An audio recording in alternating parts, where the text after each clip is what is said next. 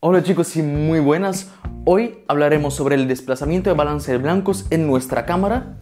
Y es algo muy interesante porque yo estaba buscando durante mucho tiempo. Es más, el motivo por cambiar de cámara, uno de los motivos por cambiar de cámara cuando empezaba fue porque no encontraba esta opción. Y es muy poco probable que tú sepas para lo que sirve porque casi nadie se mete ahí. Por eso estoy yo para contártelo.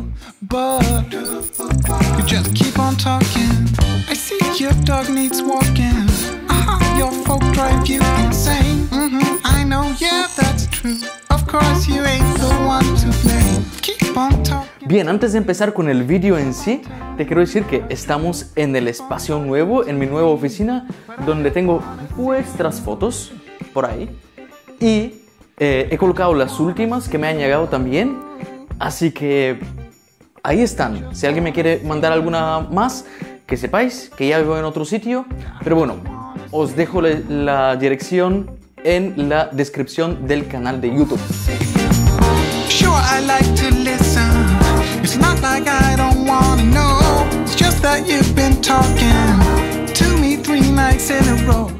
Bien, vamos a empezar con el vídeo en sí. Cuando yo empezaba en la fotografía utilizaba una cámara Olympus E420. Es una cámara antigua, relativamente compacta, reflex, eh, pero vi algo en mi amigo Víctor cuando él se compró su 500D, su Canon 500D, que me impresionó muchísimo. Y eran los colores. Era que el, balance de blancos era mucho más correcto que en mi cámara. Por supuesto, tenía mucha más ISO, la pantalla estaba mucho mejor, era una cámara mucho más avanzada que la mía, pero aparte de esto, veía algo impresionante en los colores. Y hoy en día, utilizando las cámaras más nuevas, más avanzadas y tal, a veces podemos ver un, un balance de blancos incorrecto. Aunque sea correcto, en teoría, podemos ver, por ejemplo, que en cuanto a frío y caliente, la foto está bien, pero tiene una dominante verde, o tiene una dominante lila, o tiene una dominante roja. Y bueno, pues esto de los ajustes básicos y normales de balance de blancos es muy difícil de, de gestionar. Es más, no tienes tanto control. Y por esto, en nuestras cámaras, en todas las cámaras Canon, estoy segurísimo que lo tiene, incluso lo he visto en una Canon 10D, que fíjate si es vieja esta cámara, y en las cámaras Nikon también. Me imagino que en otras como Pentax o Sony también existe esta opción, pero sí, en las cámaras reflex, en las compactas no lo he visto, por lo menos, puede que lo haya. El tema es que tenemos una opción en la que casi nunca nos metemos porque nos da miedo ya que no sabemos de qué sirve. Si entramos en el menú de nuestra cámara, en los ajustes, podemos encontrar esta opción que se llama desplazamiento de balance de blancos. Normalmente al ser tan largo lo recortan y pone despl.wb. Pero bueno, significa esto. Y cuando nos metemos dentro, vemos una especie de de tabla o de diagrama que nos mm, permite mover un puntito. Este puntito normalmente por defecto está en medio y eh, vemos cuatro colores, ¿no? Vemos el rojo a la derecha, el azul a la izquierda, verde arriba y lila abajo. Entonces, si tú en tus fotografías o vídeos en general notas algo incorrecto en cuanto a los colores, esa dominante que puede ser rojo, puede ser verde. En mi caso casi siempre es verde. Veo un pelín verde mis vídeos. Entonces, ah, lo que tengo que hacer yo es simplemente mover este puntito hacia abajo un punto, dos puntos o tres puntos, lo que sea necesario, hasta que mis fotos y vídeos salgan con el color necesario. Pero tened en cuenta que no os podéis fiar de esto cuando veis en las fotos o los vídeos en la pantalla de vuestra cámara. Lo que tenéis que hacer es hacer unas cuantas fotos o vídeos con diferentes ajustes, bajarlos al ordenador y sí también tenéis que tener eh, la pantalla más o menos bien calibrada para que sepáis lo que está pasando. Si no sabes cómo calibrar tu pantalla, hemos hecho con John Vendrey unos cuantos vídeos explicando eh, todo este tema de cómo lo puedes hacer incluso de forma totalmente manual con el ordenador que tengas, da igual si es Windows o Mac. Entonces, tú teniendo la pantalla calibrada, al descargar estas fotos o vídeos puedes ver claramente si ya tienes el punto correcto como, como a ti te gustaría que sea. Y eso es muy importante porque Si cada vez que editas una foto un vídeo tienes que hacer este desplazamiento de balance de blancos o digamos un microajuste del balance de blancos y lo tienes que hacer editando en cada foto, en cada vídeo, pues te puedes volver loco. Por eso, gracias a este ajuste, lo podemos hacer pues ya para todo y para siempre. Claro, luego si ves que, oye, pues igual me he pasado un poquito con la corrección, pues lo, puedo, lo puedes volver un poquito para atrás o lo que sea. Siempre puedes acudir a este ajuste para ajustar los colores. Ahora, algunos que entran ahí para ir probando cosas verán que si mueves la otra ruleta de la cámara, te aparecen varios puntos más. Y me puedes preguntar, ¿para qué sirve esto? Pues esto sirve para hacer una secuencia de imágenes, una secuencia de fotos con diferente balance de blancos en cada una de ellas. Esto se puede aprovechar en muy pocos casos en realidad, pero bueno, es bueno saber que existe la opción. Pruébalo si quieres, pero lo que realmente necesitas es que esté en un punto y que esté en la posición adecuada.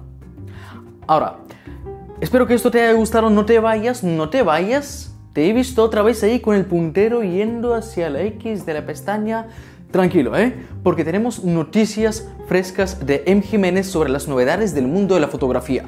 Os dejo con ellas, tened en cuenta que he tardado un poquito en subir este vídeo porque no tenía internet todavía en casa, por lo cual algunas ya sonarán, pero otras noticias no las habréis escuchado. Así que, adelante, M. Hola amigos y amigas de Julián Marinov, soy M. Jiménez de Cámara.pro y estoy aquí para contaros en solo unos minutos lo más destacado del mundo de la fotografía de las últimas semanas.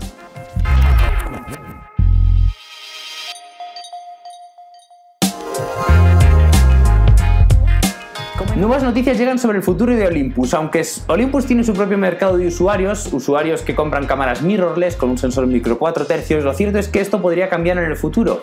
Y es que Olympus ha patentado objetivos con montura E. Eso nos lleva a varias opciones. Una y es que en el futuro Olympus lance objetivos para las cámaras de Sony. La montura E es la cámara que llevan, es la montura de las cámaras de Sony.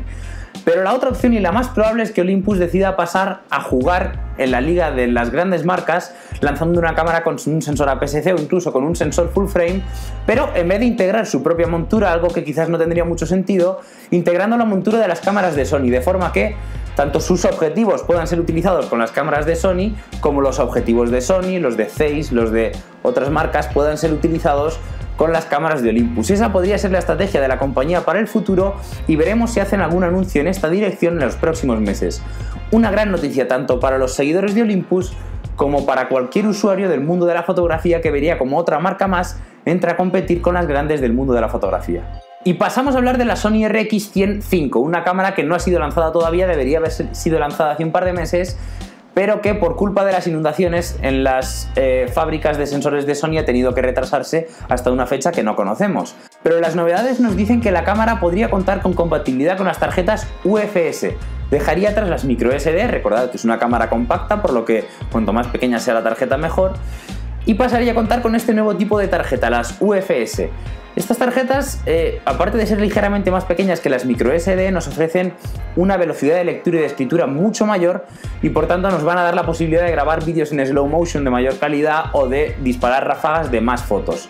Y seguimos hablando de otras cámaras que también se habían visto afectadas por el terremoto y por las inundaciones en Japón, las Nikon DL. Estas sí que se anunciaron hace unos meses, pero su lanzamiento se ha tenido que retrasar en diversas ocasiones porque no iban a estar disponibles. Ahora sabemos que las cámaras llegarán a las tiendas en el mes de octubre. No sabemos exactamente cuáles son las fechas definitivas para los tres modelos, pero por lo menos los usuarios que ya la tuvieran en mente para acompañar a sus equipos de fotografía profesional ya pueden ir sabiendo cuándo podrán unirlas a sus mochilas y cuándo podrán hacerse con ellas. Y cerramos esta sección de fotografía hablando de un nuevo objetivo que Fuji podría estar pensando lanzar al mercado, un objetivo de nada más y nada menos que 8 milímetros. Si tenemos en cuenta que Fuji suele lanzar cámaras eh, con sensores APS-C, es cierto que el 8 milímetros correspondería a un 12-13 milímetros full frame, pero en cualquier caso estamos hablando de un gran angular, de un angular gigante. Eh, un angular que hasta ahora no habíamos visto en ninguna cámara de Fuji. Lo sabemos porque Lowe Pro está trabajando en una funda para la Fuji X-T2 con el objetivo de 8 milímetros, lo que nos lleva a pensar en que efectivamente ese objetivo se va a lanzar antes o después. Se podrá utilizar también el resto de cámaras del sistema X, por lo que será una gran noticia tanto para los que piensen comprarse una Fuji X-T2 como para los que tengan cualquiera de las otras cámaras más económicas de la compañía japonesa. Y hasta aquí lo más destacado del mundo de la fotografía de las últimas semanas. Os dejamos con Julián Marinov con los mejores vídeos y los mejores trucos que ya os los cuenta él y os esperamos en el próximo vídeo con más actualidad y con más noticias de Cámara Pro. Muchas gracias Em por esas noticias que nos traes cada vez. Echad un vistazo a su canal porque está lleno de novedades sobre la fotografía. Es un canal muy chulo. Eh, somos muy amigos y nos apoyamos muchísimo. De hecho, una información privilegiada.